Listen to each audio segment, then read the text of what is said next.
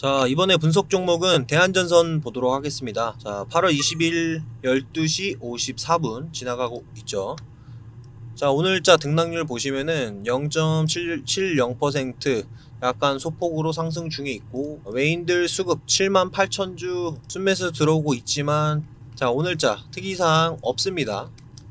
자 최근에 주가 추이 한번 보도록 할게요. 자 이거를 해석을 해야 되는데 지금까지는 사이클이 안 돌았죠. 주가가 24년까지는 쭉 빠지다가 24년 기점으로 가파르게 상승 나왔고 조정, 횡보 지금 이 모습입니다. 자, 이거를 먼저 설명을 드리면은 AI의 최대 수혜 주라고 불리는 엔비디아가 미장에서 올라가면은 예전에는 국장에서도 반도체가 올라갔습니다.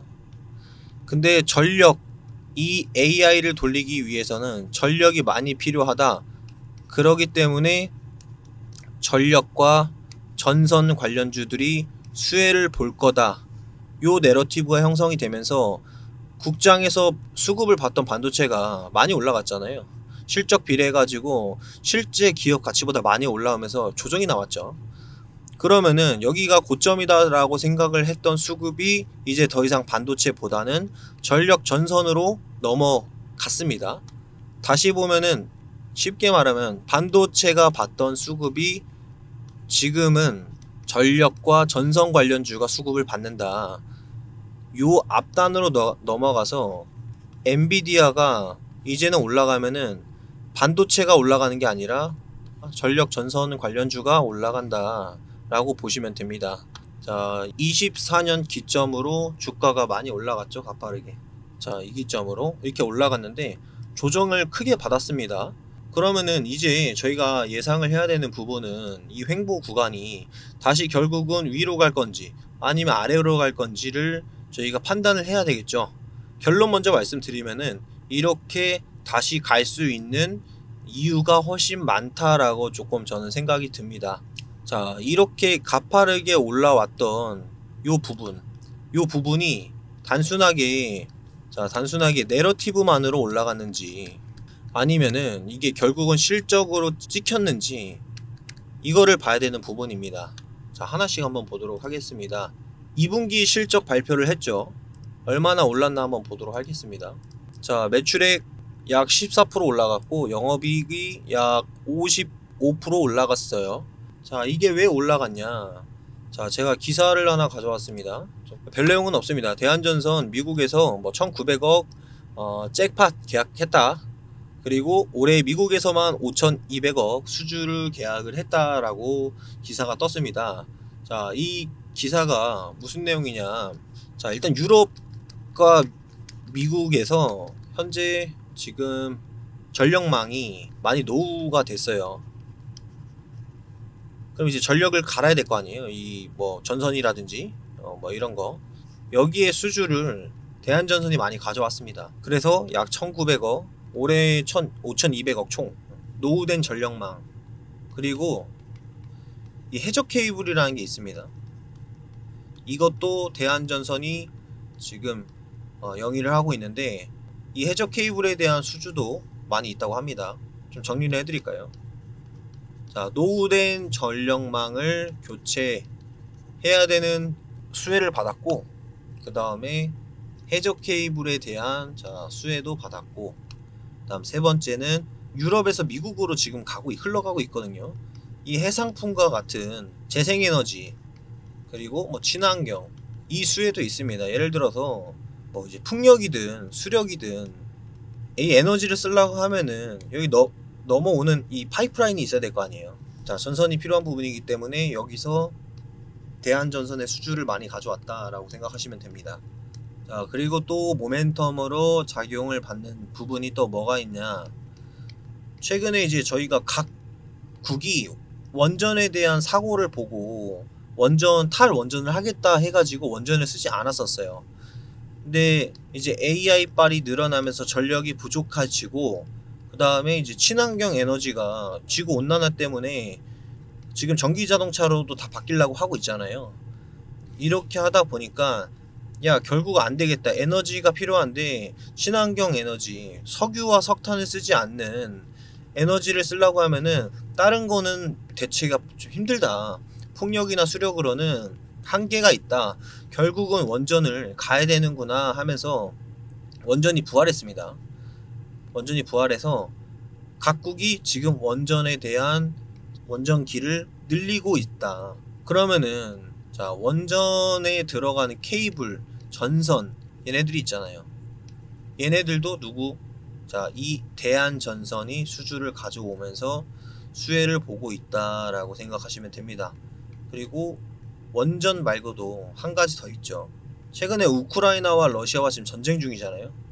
여기에 가장 도시를 형성하는데 기초적인 게 전선과 전력이지 않겠습니까? 에너지를 갖고 와야지만 이제 각 집이나 아니면 국가 기관들의 전기가 필요한데 그 전기를 공급을 해줄 수 있는 광 케이블이 많이 필요하다.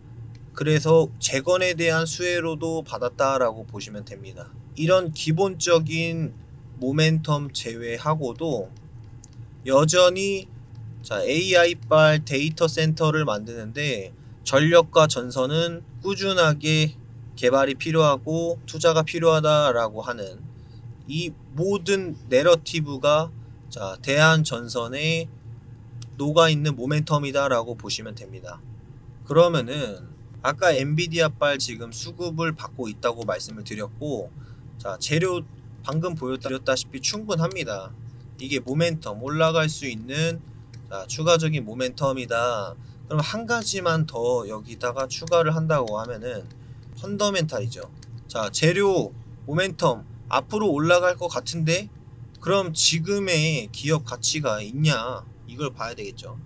자, 이 부분은 아까 2분기 실적 올라가는 거 제가 보여드렸죠. 그럼 2분기까지는 지금 분위기 좋습니다. 그러면은 어, 앞으로의 주가 추이가 어떻게 될 거냐 요거에 따라서 이게 어느 정도 확정이 지어야지만 주가가 올라가겠죠. 자, 보시면은 아까 미국에서만 5,900억 수주 계약을 땄다고 하는데 대한전선이 지금 일감을 다운 그러니까 수주 건수가 몇 건이 있냐? 자 수주 상황 한번 보시죠. 수주 잔고 얼마냐면은 자 이게 2조입니다 2조. 수주 잔고가 자 수주 잔고 2조인데 대한전선의 현재 시총이 얼마냐 현재 대한전선의 시총은 약 2조 4천억입니다. 전체 기업 가치가 2조 4천억인데 돈을 벌 수 있는 계약 수준은 2조. 전체 기업 가치가 2조 4천억인데. 자, 그럼 현재 이 주가가 고평가인가요? 아니겠죠. 돈을 벌 수 있는 게 2조가 이미 계약이 있는 상태에서 전체 기업 가치가 2조 4천억이라면은 자, 올라갈 수 있는 확률이 더 크다라고 보시면 됩니다. 고평가 아니다라고 보시면 됩니다. 자, 그럼 숫자적으로 한번 말씀드리면은 현재 대한전선이 작년 기준치 EPS로 계산했을 때 PER을 25배 받습니다. 25배 받으면, 받는다는 게 무슨 말이냐? 내가 대한전선을 어, 투자를 했을 때 회수할 수 있는 시간이 어, 25년이다라고 보시면 되는데 자, 대한전선과 맞물려서 그럼 동종 기업들은 PER을 몇 배 받고 있냐라고 보시면은 고평가가 되어 있는지 저평가가 되어 있는지 상대적으로 평가가 될 거 아니에요. 자, LS 일렉트릭 한번 보도록 할게요. 어, LS 일렉트릭이 지금 시총이 5조 1000억이고 PER 값 20, 24배 맞습니다. 그러면은 얘가 가지고 있는 얘는 한 달에 얼마 버냐 보시면은 2분기 실적 한번 보도록 하겠습니다. 잠깐 비교해 가지고. 자 그러면은 대한전선 PER 값이 25배 그 다음 LS 일렉트로닉이 자 25배고 HD 일렉트릭이 약 40배 정도 자 40배 정도 PER 값을 받습니다. 그걸 봤을 때 대한전선이 그렇게 고평가는 아니다. 자 주식수 비례해 가지고 말씀드리는 겁니다 그러면 돌아와서 현재 이렇게 주가가 형성이 됐고 조정을 받은 이 부분 이렇게 올라간 게 방금 보여드렸죠. 자 모멘텀이 충분하고 내러티브도 형성이 되어 있는 상태. 자 근데 내러티브가 결국은 펀더멘탈까지 간 상태 전부 체크했습니다. 그렇기 때문에 현재 주가 조정받은 거는 AI가 엔비디아를 포함해 가지고 AI 관련 기업들이 조정이 나온 것도 있고 추가적으로 매크로 시장이 빠졌죠. 전체 주식 시장 말고도 네, 주, 전체 주식 시장이 빠지면서 영향도 있는데 다시 올라갈 수 있는 확률이 굉장히 높다라고 보시면 될 것 같습니다. 그리고 추가적으로 한 가지 좀 말씀을 드리면은 자, 현재 지금 13,000원 부근인데 24년 예상 컨센서스대로 계산을 해보면은 자 24년 EPS 예상대로 해보면은 대한전선 EPS 493원에 PAR 26배를 적용했을 때 12,800원 나와요. 이게 무슨 말이냐 하면은 지금, 지금 현재 12,990원, 13,000원 정도 되는데 12,800원 이하로 빠지면은 매수 하셔도 됩니다. 충분하게 가치보다 떨어진 거기 때문에 가치보다 떨어진 거기 때문에 매수하셔라 라고 제가 말씀을 드리고 싶습니다. 그리고 이렇게 주가 올라갈 수 있는 거는 수주가 2조가 빵빵하게 뒤에 붙어 있고 현재 시총이 2조 자 4천억이기 때문에 엔비디아만 다시 올라와 준다고 하면은 수급도 붙을 거다 자 주가는 결국 수급이 움직이죠. 사는 사람이 많아야지 올라가는 겁니다. 자 수급 근데 올라갈 거고 주가가 올라간 만큼 기업 가치도 있는 거냐? 있다라고 제가 말씀드렸습니다. 12,800원이 매수 구간이에요. 그리고 매도 구간. 자 이거는 제가 말씀드린 것처럼 수급의 영향이 굉장히 크기 때문에 매도 같은 경우는 그래도 여기처럼 고점에 팔고 싶잖아요 다들 어, 뭐 요만큼 올라가서 보다 여기 올라가서 파는 게 더 다들 원하시는 부분이니까 이 부분은 계속적으로 체크를 하셔야 됩니다 여러분들이 좀 체크를 하기 힘들기 때문에 저한테 지금 위에 번호 하나 나왔을 거예요. 010 자, 7183-8706번으로 대한전선이라고 문자 주시면은 제가 한 분 한분 자, 매도가가 왔을 때 적정 주가를 말씀드리도록 하겠습니다. 다시 한번 말씀드리는데 이 매도는 수급 현황에 따라서 달라지기 때문에 지속적으로 체크를 해야 됩니다. 왜냐? 요 고점에 파셔야죠. 그러면은 음, 저한테 대한전선이라고 문자를 주시면은 위에 있는 번호로 010-7183-8706번으로 대한전선이라고 문자 주시면은 매도 타점이 왔을 때 적정 주가 제가 보내드리도록 하겠습니다. 그리고 현재 신규 매수세로 들어오시는 분들도 저한테 보내주세요. 대한전선이라고. 근데 이미 매수가는 제가 말씀드렸어요. 12,800원 부근 밑으로 빠지면은 매수 하셔도 된다라고 말씀드렸습니다. 여러분들 제가 이렇게 어, 대한전선 통해 가지고 종목을 어떻게 봐야 되는지나 이런 걸좀 어, 보여드렸는데 요것도 좀 같이 말씀드릴게요. 자 여러분들 투자하시면서 수익 보기 많이 힘드셨죠? 왜냐 저처럼 저는 이게 업이잖아요. 매일 시장을 보고 매일 시장의 뉴스와 리포트 그리고 종목을 계속 체크합니다 저는 왜냐 저는 이게 주업이잖아요 여러분들이 대부분 직장인이거나 개인 사업 하실 거 아니에요 저처럼 업으로 매일 시장을 읽을 수 없기 때문에 업을 갖고 있는 제가 여러분들을 좀 도와드리려고 지금 이렇게 영상을 찍고 있는 겁니다 저희 돈 안 받습니다 무료로 저희가 텔레그램방 제가 운영하고 있고 위에 있는 번호 010-7183-8706번으로 숫자 1이라고 보내주시면은 이 텔레그램 방 제가 무료로 드리도록 하겠습니다. 보통 여기서는 제가 단기 종목 두 개 정도 드릴 거예요. 섹터별 리스크를 분할하기 위해서 드리는 거고 예를 들어서 전선주가 하나 들어간다. 그러면은 전선에 엮여 있는 거는 전력이랑 반도체가 있어요. 얘네가 빠지면 전선도 빠지기 때문에 이렇게는 안 들어갑니다. 수급은 크게 크게 움직이거든요. 예를 들어서 반도체와 뭐 예를 들어 바이오다. 그럼 수급은 자 반도체로 들어갔다가 반도체가 빠지면 바이오로 수급이 이동하면서 바이오가 올라갑니다. 보통 시장에는 돈이 한정되어 있기 때문에 자, 한정되어 있기 때문에 풍선 효과처럼 한쪽이 빠지면은 다른 한쪽은 올라갑니다. 그래서 제가 두 종목을 잡고 들어가는 거고 예를 들어서 전선 들어가면은 어, 여기는 바이오 하나 더 드릴 겁니다. 이 전선 관련주들도 쭉 기업이 있을 거고 바이오주도 쭉 있겠죠. 그 기업들 중에서 저는 펀더멘탈 기업 가치가 없는 기업은 들어가지 않아요. 아까도 제가 실적을 봐잖아요.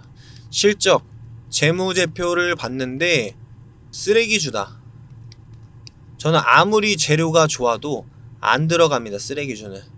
쓰레기주는 작전이 너무 많습니다. 그런 종목은 저는 취급 안 합니다.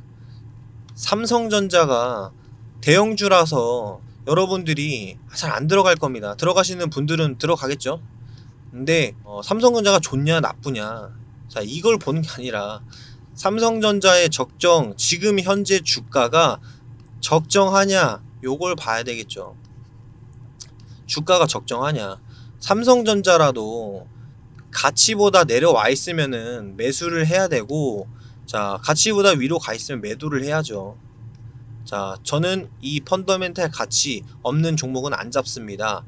그러면은 이렇게 대한전선 예를 들어서 어떤 종목 종목을 쭉 선정을 해놓고 수급과 시기라는 거는 저는 이것도 이게 맞아야 합니다. 이렇게 쭉 종목을 뽑아놓고 대한전선 나쁘지 않았거든요. 근데 여기 보면은 사이클 안 타니까 쭉 빠졌죠. 자 24년 기점을 올라갔잖아요. 그런 것처럼 수급이 타기 시작하고 자 시장에서 드디어 아 사이클을 인정을 해줄 때 그걸 시기라고 합니다. 거기에 맞춰서 제가 종목을 들어갈 겁니다.